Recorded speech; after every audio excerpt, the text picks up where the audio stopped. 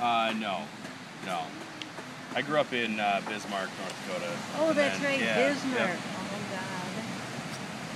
Yep. And uh, oh Who boy. did I know from Bismarck? I know some pretty, pretty up and coming people in Bismarck. The Kelshers.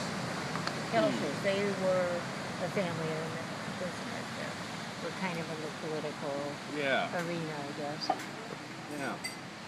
I'm not quite sure. I don't remember that. it's a big town. Yeah. The big town.